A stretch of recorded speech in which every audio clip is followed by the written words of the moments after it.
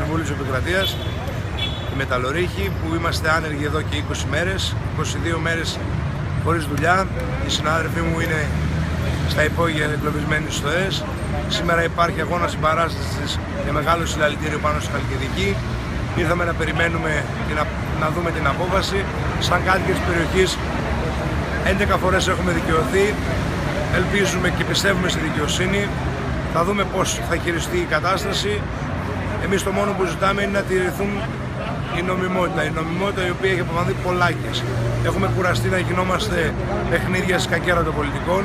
Χθες το βράδυ στο ραδιομέγαρο της ΕΡΤ μετά από εντολή κάποιον χτυπηθήκαμε και αποθηθήκαμε. Έχουμε χτυπήσει, μας ρίξαν δακρυγόνα και σπρέι πιπεριού.